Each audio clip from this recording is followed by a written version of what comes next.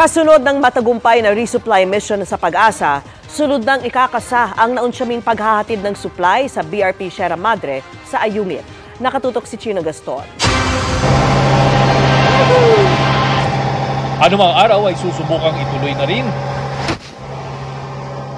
ang naunjaming resupply mission sa BRP Sierra Madre sa Ayungin. Ito yung may dalang tubig, pagkain at fuel na binomba ng tubig ng Chinese Coast Guard at fishing militia nito sanang August 5. Sabi ng Philippine Coast Guard, siguro they can monitor us, I don't know, by satellite through AIS.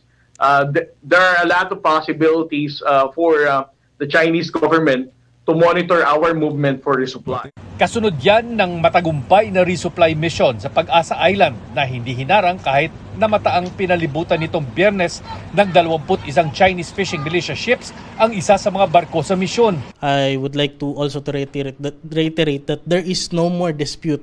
Wala nang dispute doon. Ngayon, kung meron pa silang apela, isipin na lang nila may mga tao doon na kumakain, please consider how to become a human. Sa videong ipinadala ng mga mangingisda sa pag-asa, wala raw makikitang mga Chinese na barko sa silangang bahagi ng dagat sa pag-asa. Malaya raw silang nakapangisda sa Reef 1 o Reef 2. Oh, may lancha dito, lancha ng Vietnamese. Ayan. Vietnamese yan. Pero patuloy raw nagbabantay ang Chinese Coast Guard at militia ships sa mga bahura sa kanluran ng pag-asa na malapit sa artificial island ng China sa Subi Reef. Para sa GMA Integrated News, Chino Gaston nakatutok, 24 oras. Mga kapuso, kasama nyo kami 24 oras. Mag-subscribe sa GMA Integrated News sa YouTube.